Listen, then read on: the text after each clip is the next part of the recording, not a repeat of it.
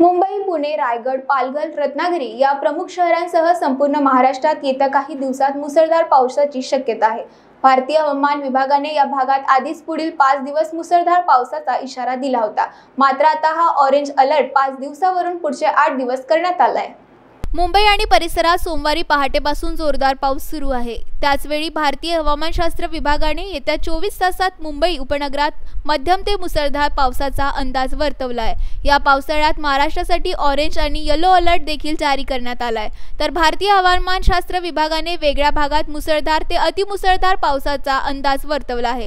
भारतीय हवामान विभागाने वर्तवलेल्या या अंदाजामुळे प्रशासनाकडून लोकांना योग्य खबरदारी घेण्यास आणि पाणवठ्याजवळ न जाण्याचे आवाहन करण्यात आले आहे.